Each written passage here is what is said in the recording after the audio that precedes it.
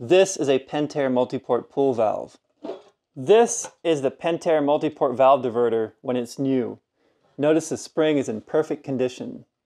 This is the same multiport valve diverter after a few years of use and the spring is completely rusted and disintegrated and needs to be replaced in order to work again. Most people end up spending a lot of money for the whole multiport diverter top assembly, which costs $150 if you're getting a good deal.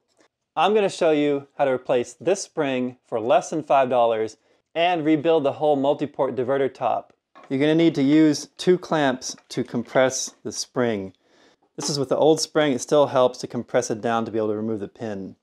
Using a sturdy screwdriver or a punch and a hammer, we're going to take the screwdriver and we're going to knock this pin out.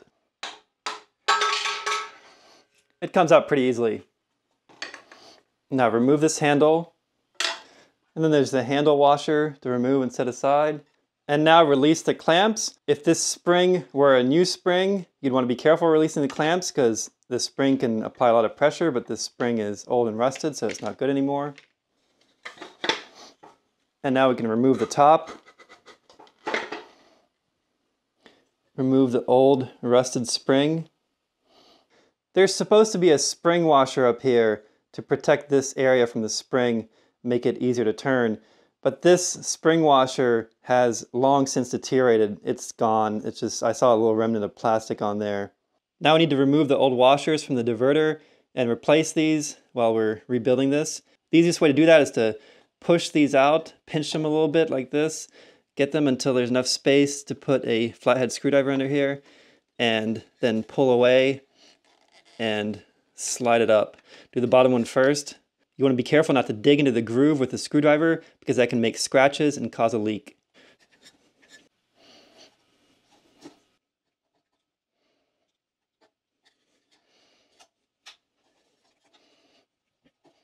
Take these two parts and clean them off really well. Brush them until all the rust and stuff is removed.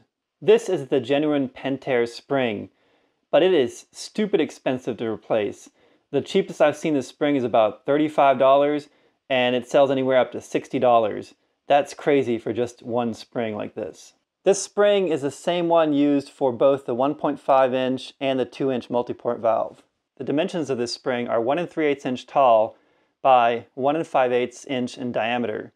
The wire diameter of the spring is 0.1875 inches. So I ended up finding a much less expensive replacement spring sold by Hayward for their valves, and it's virtually identical to this spring except it's wound in the opposite direction. But all the dimensions are the same. The material is probably the same. So this spring only costs about 12 to $13. And I can even find multi-packs of this spring of four for $14. That is crazy inexpensive. Now I don't know if the quality of these will last as long as the genuine product, but for 12 to $13, this is still cheap. This is the Hayward spring on the right and the Pentair spring on the left. You can see that the height is the same, the diameter is the same, the number of coils is the same, and it's just wound in the opposite direction. And also, the wire diameter is the same. On the right is the El Cheapo Hayward spring, which is 4 for $14, and on the left is the genuine Hayward spring, and these look very similar also. The diameter is the same, the height is the same, the wire diameter is the same. So these should be fine. The only unknown is what is the material that the cheaper one uses and will it last as long as the genuine one. One place to make sure to clean really well is in this inner diameter right here. Use something to really scrub that out and make sure that's super clean and smooth. If this is rough in here, it can be sanded smooth with some very fine grit sandpaper and use a circular motion rather than an in and out motion so that the scratches go around the circumference and won't lead to any leaks. Once the cover and the diverter have been cleaned up and you've removed as much rust as possible, now it's time to take all of the replacement parts and reassemble everything. So the replacement parts that you should have are two new O-rings, the replacement spring, the spring washer if yours is degraded or missing, and the handle washer. If your spring washer and handle washer are still in good condition, you can reuse them use a little bit of silicone grease when replacing the O-rings. So we're going to squish a little bit of silicone grease into these grooves. Put the first O-ring back on.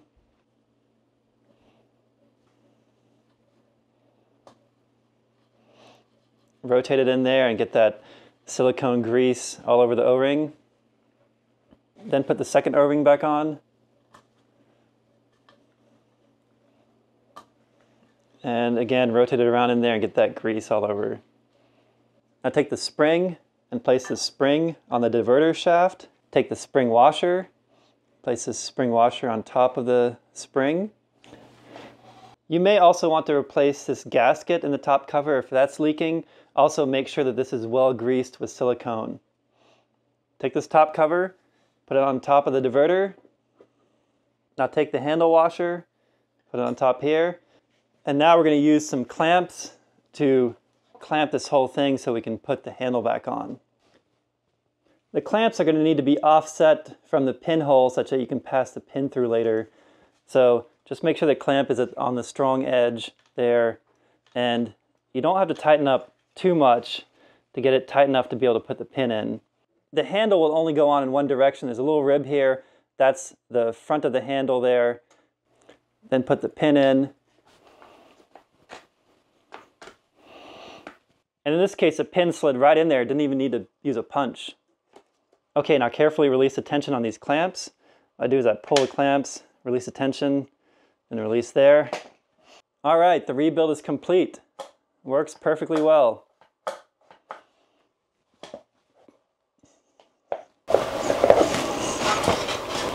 Now I just need to put the rebuilt diverter assembly back into the main valve body and make sure to align this notch here with this notch on the cover. That's the alignment. Put it back together there. You can lift this up to relieve the pressure as you're screwing everything in. Go ahead and replace all the screws and the nuts that go underneath.